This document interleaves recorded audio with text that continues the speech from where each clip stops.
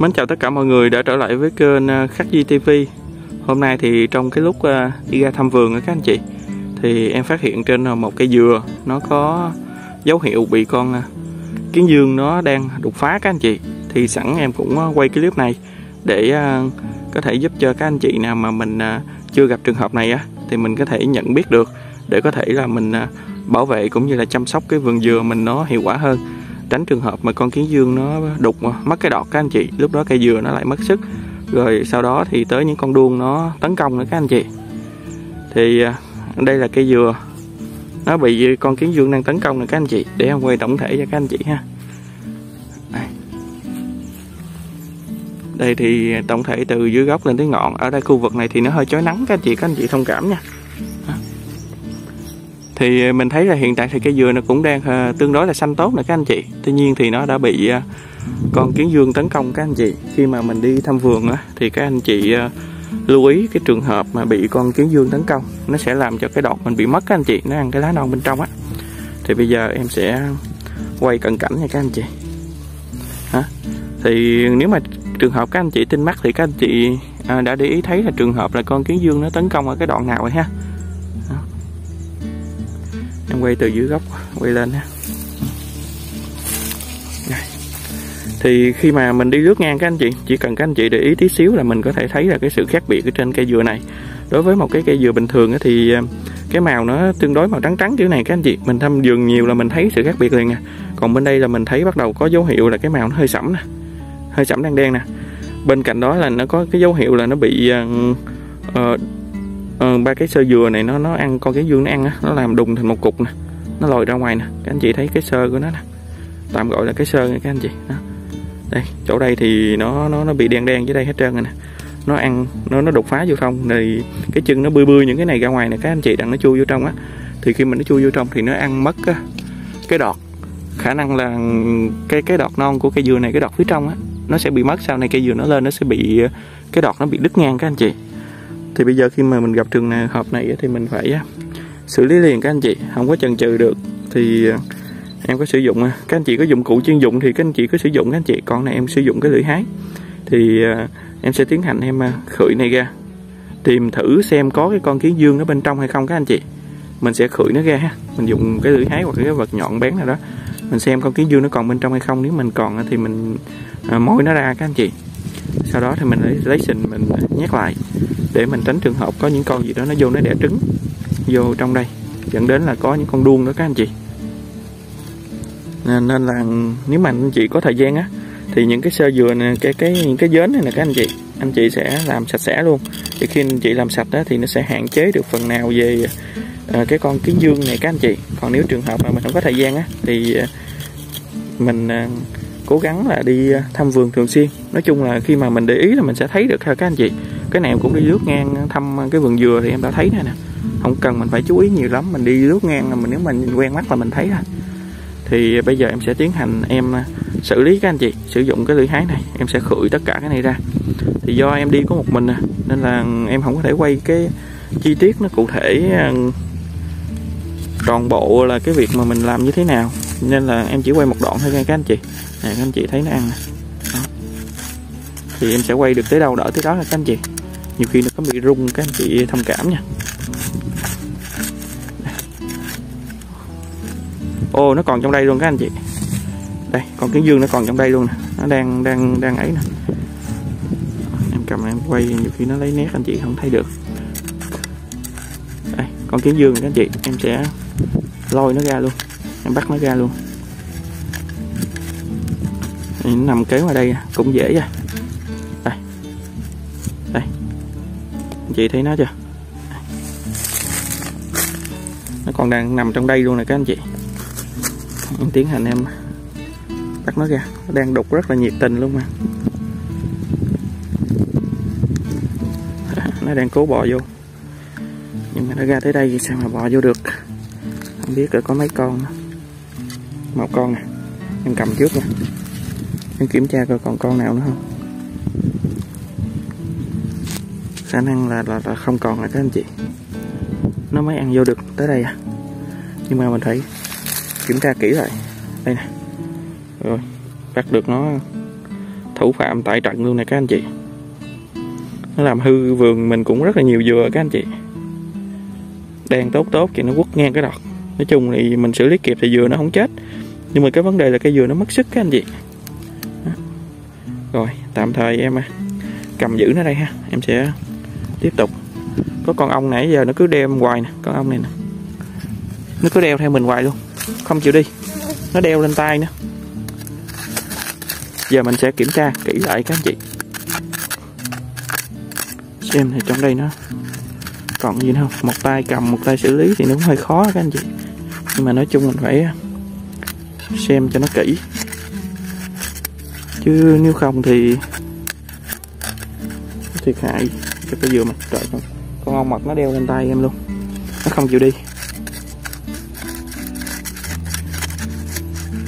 Chắc hết rồi các anh chị. À, anh chị thấy giờ nó quất nó đang ăn vô một cái lỗ nè.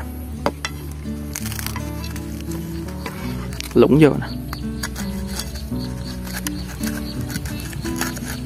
Con này thì nó mới vừa đục thôi. Thì cũng may mình đi mình phát hiện kịp thời các anh chị. Chứ nếu không là nó cái đọt này tiêu à. Cơ bản thì nó mới ăn phía ngoài thôi các anh chị. Nó chưa ăn được vô trong. Nên là khi mà mình uh, vượt khiều ra là mình thấy liền à. Rất là nguy hiểm luôn các anh chị. Một tay thì khó làm thôi gì chắc đó cũng tạm theo các anh chị. Tại vì nó chỉ chưa ăn vô sâu nó cứ phía bên ngoài thôi. Mà mình đã xử lý nó kịp rồi. Còn con kiến dương thì mình xử lý nó thôi, các anh chị. Mới ăn vô một lớp mỏng rồi, các anh chị, nên không sao. Mình bắt nó ra luôn. Hay là mình đi thăm vườn rồi, các anh chị. Mình phát hiện nó được, chứ nếu không thì nó còn nhiều cái. Nó làm ảnh hưởng cây dừa mình nữa nên là các anh chị đi thăm vườn thì các anh chị cũng chú ý. Nói chung là nó không khó để nhận biết đâu. Mình nhìn kỹ thì nhận biết được. Ồ cây dừa này. À cây dừa này, hôm trước em quay nó một lần rồi các anh chị. Hôm trước mà trong cái clip mà nhận diện con kiến dương á, và cái cách xử lý đối với con kiến dương này á, thì em đã quay đúng cái dừa này luôn. Tại vì sao em nhớ cái dừa này? Chị thấy nè, ở đây hồi xưa nó có một lỗ nè bữa đó em có quay kỹ cái lỗ này thì cũng cái dương nó đục nè. Hôm trước thì có con con nó đậu đâu phía phía bên đây nè các anh chị anh chị nhớ không? Phía bên đây vậy nè. Đó. mình à, đi phát hiện thì nó đây thì em cũng quay cái clip mà cách nhận biết con kiến dương á. Ở đây thì thấy à, nè một sát con kiến dương này các anh chị. Cái này thì chắc cha em xử lý nè. Xong rồi nhét bùn vô luôn nè các anh chị. Đây là cái cách mình xử lý ấy, có thể mình áp dụng được anh chị có thể tham khảo ha. Nói chung thì có nhiều cách anh chị có thể tham khảo cách này. Khi mà mình cạo như em xong lúc nãy ra thì mình sẽ tiến hành mình lấy cái bùn non á dẻo dẻo á mình nhét vô để tránh những cái con gì nó nó nó nó nó, nó đậu vô các anh chị nó đẻ vô. Tránh sau trường hợp này mấy con đuông nó phát triển á nó đẻ trứng vô đó nó làm nguy hại cho cây dừa của mình. Mình lấy xịn nhét hoặc là các anh chị có thể à, gãi những cái loại thuốc vô đây nè cho nó không có con gì nó dám vô ở luôn. Rồi không biết là cái đặc tính nó như thế nào mà hồi trước cái cái cây này nó bị à, đã từng bị rồi từng bị là có trường hợp là nó bị lủng lỗ ở đây bữa đó em có nhớ nó thọt ngón tay ngang cái lỗ này để cho các anh chị thấy nè. Chứ còn cái dương động ở đây nè. Còn bây giờ thì phát hiện thì mà nó ra ăn cái phần trên nữa các anh chị. Nhiều khi nó quen cái mùi cây dừa hay sao á mà nó cứ ăn nhiều miết à. Thì đây là cách ờ, để mình ờ, đi vườn mình phát hiện cũng như là mình nhận biết ờ, cái con kiến dương như thế nào và cách xử lý nha các anh chị. Thì anh chị có thể um, tham khảo. Cũng có nhiều cách khác, nhưng mình thì thấy cái cách nào nó phù hợp với mình thì mình xử lý thôi. Còn trường hợp này em không có nhét sình do nó mới ăn cái mỏng phía bên đây à các anh chị. Nó ăn vô mới được con lớp nhẹ à. nó không bị lủng cái bẹ nên là em không có tiến hành em cắt bụng lên. Cây dừa này bự. Có lưỡi mèo. Lưỡi mèo đầu tiên. To to vậy mà mới có lưỡi mèo luôn còn mấy cây kia nó nhỏ nhỏ nên là có lưỡi mèo rồi các anh chị. Hơi quất các anh chị không thấy. Đây, lưỡi mèo nè. To đùng luôn, để em quay cái cây này. Cũng thuộc loại lớn lớn lớn. Đây. tới giờ mới có lưỡi mèo ha. Này, điện thoại nó lấy nét nhiều quá. Đang quay cái lưỡi mèo của cây này thì nó bị nóng máy, nó tắt ngang các anh chị.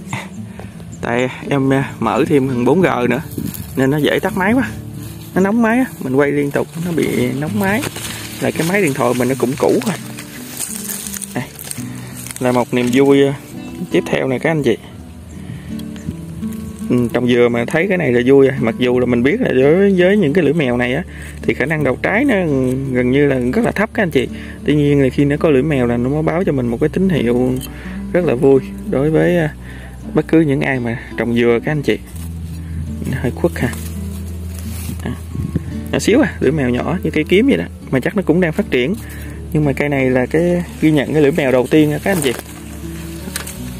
Thì à, hổng gài cứ tuần hai tuần vậy đó. Thì à, phát hiện thêm à, vài cây có lưỡi mèo các anh chị. Mà tại thì thực tế là cũng không có quay à, chi tiết. Nhưng mà phát hiện lưỡi mèo cứ điều điều vậy các anh chị.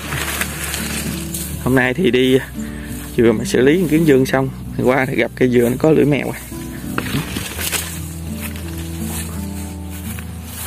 đây là cây này em cũng quay nhiều rồi các anh chị. Cây này em nói là cái lưỡi mèo đầu tiên mà nó đậu trái luôn. Đây nè. Cái buồn này thì à, hiện tại vẫn còn 7 trái.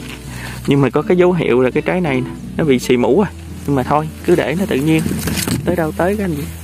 Những cái lưỡi mèo ở trên thì to các anh chị đây là cái lưỡi mèo nó mới bung nữa nè. Này, hôm trước thì em cũng có ấy mò nàng cũng có nhiều trái bông cái này các anh chị. Còn ở dưới đây thì những cái bông đực nó ấy nè, nó động động dưới đây nè. Nó rụng, nó toàn động dưới đây nè. Nên rất là dễ bị sâu nha các anh chị. Lưỡi mèo này thì chắc chuẩn bị bung rồi. Lưỡi mèo là chuẩn bị bung rồi. Rồi, hôm nay thì sẵn đi thăm vườn, phát hiện cái con kiến dương thì ờ, em cũng ờ, quay lại cái cách nhận biết cũng như là cách xử lý đối với trường hợp cây dừa mà mình bị cái con kiến dương nó đột phá các anh chị. Bên cạnh đó thì cũng thấy ờ, thêm những cây dừa nó có lưỡi mèo mới những cái tín hiệu rất là vui cho những ngày trồng dừa. Rồi em cảm ơn tất cả mọi người rất là nhiều. Em hẹn tất cả mọi người trong những cái uh, clip tiếp theo. Em xin chào và hẹn gặp lại.